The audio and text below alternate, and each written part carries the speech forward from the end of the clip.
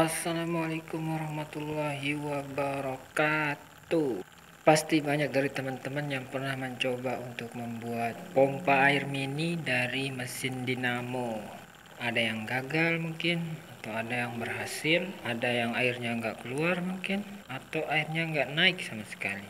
Atau mungkin uh, mereka berpikir ini adalah hoax atau palsu ya Oke, di sini akan saya coba untuk membuatnya ya dan akan saya coba untuk jelaskan apa ini benar-benar bisa dibuat atau tidak. Mungkin ada sebagian dari teman-teman yang kalau buat tuh airnya nggak mau naik, udah dibolak-balik plus minusnya tetap nggak mau naik. Nah, di sini saya akan coba untuk jelaskan gimana sih cara supaya dia mau naik airnya ya apakah harus dibuat sebagus atau sesuai atau bagaimana sih? Oke, di sini kita akan bahas tuntas ya cara membuatnya ya.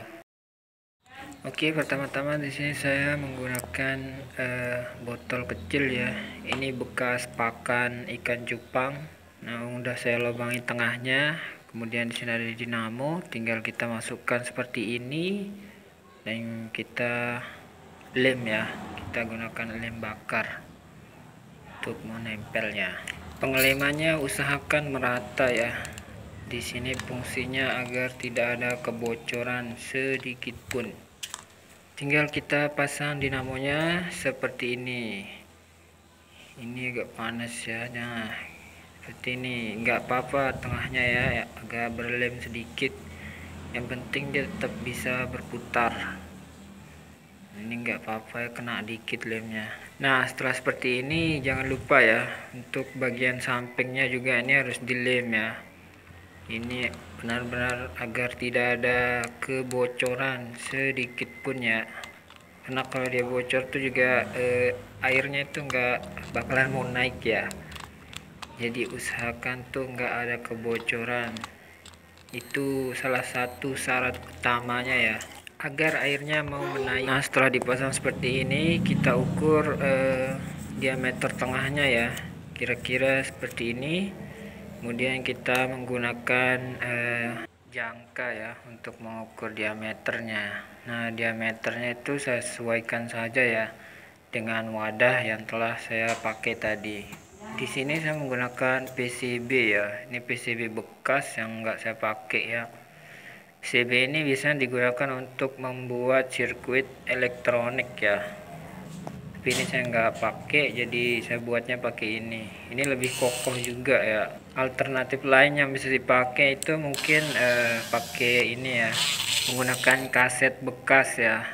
Itu tapi mungkin bisa didouble ya kasetnya kalau pakai PCB ini agak rumit ya agak ribet pembuatannya. Tapi memang hasilnya itu lebih bagus kalau menggunakan PCB ya. Namun alatnya juga harus lebih lengkap ya. Di sini saya menggunakan uh, gergaji triplek ya. Untuk memotongnya bulat seperti ini tuh lumayan susah.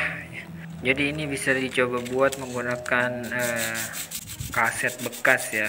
Di sini saya mengamplasnya untuk menghilangkan kuningannya ya agar dia tidak mudah berkarat saat digunakan dalam jangka waktu yang lama ya. Hasilnya seperti ini ya seperti batu garambol tapi lebih tipis. Kemudian di sini saya buat pola seperti ini ya. Nanti kita gergaji dan langsung pasang siripnya ya. Nah hasilnya seperti ini ya ini udah dipasang siripnya. Siripnya ini saya buat dari kaleng ya. Kaleng aluminium ya. Jadi agar dia nggak berkarat. Ini kalengnya ya. Ini kalengnya saya lipat jadi dua ya. Supaya dia bisa lebih kuat dan tahan lama ya dalam pemakaiannya. Kemudian kaleng yang tadi saya bentuk seperti ini. Nah jadi dia bentuknya seperti ini ya Nah, kuncinya kebanyakan di sini ya, di siripnya ini. Kalaupun mau dibuat sirupnya ngasal itu ngasal dalam arti itu eh, sirupnya cuman dipotong-potong tempel gitu aja tuh bisa aja ya. Tapi posisi dinamonya itu lebih rendah daripada airnya. Makanya dia bisa menyedot. Atau biasanya itu digunakan untuk pompa air jenis celup ya. Oke kunci selanjutnya itu adalah di sedotannya ya. Untuk penghisapnya itu harus lebih besar daripada pengeluarannya. Ini saya menggunakan lebih besar dan lebih kecil. Nah di sini kita tinggal lubangi ini ya. Lalu kita lem sesuai dengan ukuran sedotan yang kecil tadi ya. Ini jangan ada kebocoran juga ya. Harus benar-benar rapat Pokoknya setiap pengeliman itu harus benar-benar rapat dan tidak boleh ada kebocorannya. Nah, hasilnya kira-kira seperti ini ya setelah dilem. Ini diwajibkan tidak boleh ada yang bocor. Oke, selanjutnya kita tes manual ya. Ini baling-balingnya. Nah, ini masih mentok ya jangan sampai ada mentok ya supaya tidak mengganggu e, perputaran dari siripnya. Ini masih ada yang mentok ya. Intinya juga di sini ya jadi siripnya itu harus benar-benar rapat dengan sisi bodinya ini ya agar e, perputaran airnya itu naik dengan cepat. Nah ini kita potong tipis ya sedikit saja ya karena ini yang mentok dengan bodinya tadi ya. Jadi kita potong sedikit supaya tidak berbenturan dengan bodinya ya. Kita bisa lihat di sini ya ini udah mulai lancar ya. Putarnya itu enggak terganggu lagi. Untuk ujung dari dinamonya ini saya menggunakan bullpoint ya. Bullpoint bekas agar dia tidak jalan ke mana-mana ya terkunci tetap pada posisinya. Nah sekarang kita tes dulu ya. Bisa dilihat ya suaranya ya tuh udah wow. Ini kenceng banget ya putarannya karena di sini saya menggunakan charger HP ya. Saya tesnya pakai charger HP bisa dilihat sendiri ya suaranya dia tuh udah wow. Oke sekarang kita tes gimana sih kerasnya angin yang dihasilkan dari mesin ini nah bisa dilihat sendiri ya. Ini dorongannya itu bisa dibilang ya mantep lah ya. Bisa dibuat blower juga ya. Oke selanjutnya itu kita buat uh, ini ya sedotan penghisapnya. Saya buat simple aja ya seperti ini. Tinggal cari tutup botol yang sesuai dengan ukuran yang digunakan lubangi tengahnya dan kita lem pengelemannya seperti ini ya. Ini lagi-lagi yang tidak boleh ada kebocoran sedikit pun ya dalam pengelemannya oke selanjutnya kita coba testing. Apakah airnya bisa naik atau tidak? Dan jeng jeng jeng. Oh ternyata airnya tidak bisa naik ya. Sepertinya ini gagal ya. Eits jangan menyerah dulu ya ini sebenarnya butuh dipancing ya karena setiap musim air itu pasti butuh pancingan air. Jadi ini kita coba pancing dulu ya dengan mencelupkan setengah setengah dari bodinya ya. Kalau emang airnya enggak eh, mau naik kita coba balik ya. Kita balik putarannya apakah dia mau menghisap lebih baik atau tidak ya ini juga kelihatannya sama ya. Sepertinya lebih lebih bagus yang pertama tadi ya. Ini naik-naik sedikit tapi tidak tidak bisa untuk diangkat ya. Kita coba angkat ya. Kita coba angkat apakah airnya mau bertahan? Nah diangkat airnya menghilang jadi kita perlu balik lagi ya. Sepertinya yang pertama tadi yang lebih baik ya. Minus dan plusnya itu di sini ya. Kita coba rendam lagi sedikit. Apakah airnya naik? Nah ini bisa didengar juga ya. Kalau airnya udah naik tuh mesinnya akan eh, lebih kecil suaranya ya. Nggak ribut lagi mesinnya itu dia akan lebih kecil suara mesinnya. Intinya juga itu ya kalau mesin air celup itu nggak perlu dipancing ya. Tinggal taruh dinamonya itu lebih rendah daripada posisi airnya. Jadi dia bakalan langsung naikin air. Cuman kalau untuk e, mesin di atas air kayak begini itu perlu pancingan ya jadi mancingnya kayak tadi yaitu harus dicelupin sampai setengah.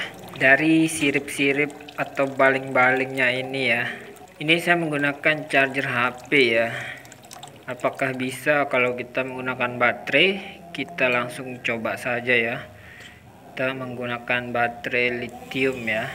Bisa dilihat ya airnya itu udah mulai naik ya. Udah mulai ngangkat cuma perlu dipancing ya kita pancing airnya dulu seperti ini ya.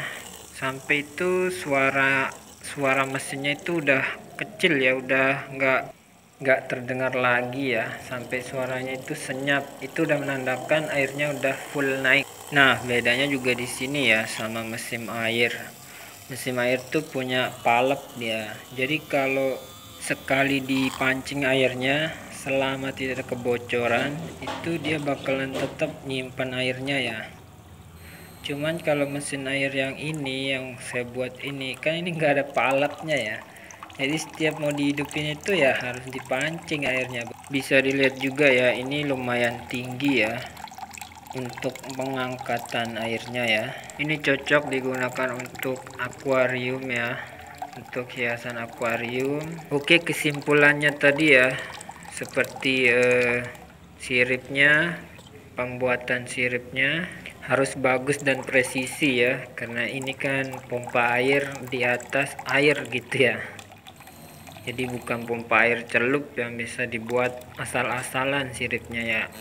Terus juga jangan sampai ada kebocoran terus jarak sirip dengan bodinya ya. Terus eh, sedotannya atau lubang hisapnya harus lebih besar daripada keluarannya. Dan yang terakhir itu adalah eh, dipancing ya. Jadi kalau nggak naik airnya itu ya usahakan pancing dulu coba dipancing sampai suara mesinnya itu lebih kecil ya. Suaranya nanti kecil banget ya. Itu menandakan airnya sudah mulai naik oke dan buat teman-teman yang mau mencoba membuat lagi yang mungkin sering gagal bisa dicoba ya.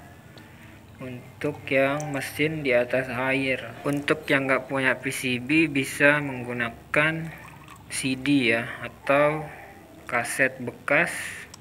Kasetnya bisa didobel ya supaya lebih tebal. Nah ini untuk pengaplikasiannya di akuarium ya ini akuariumnya akuarium kecil ya. Bisa dilihat putarannya itu seperti di blender airnya ya.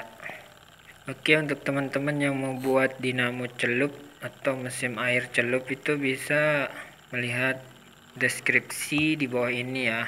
Ini untuk referensi ya. Kalau dinamo celup tuh nggak perlu dipancing. Oke mungkin cukup sekian dulu ya untuk video kali ini. Semoga bermanfaat ya. Dan jangan lupa ya untuk subscribe channel ini ya. Terima kasih telah menonton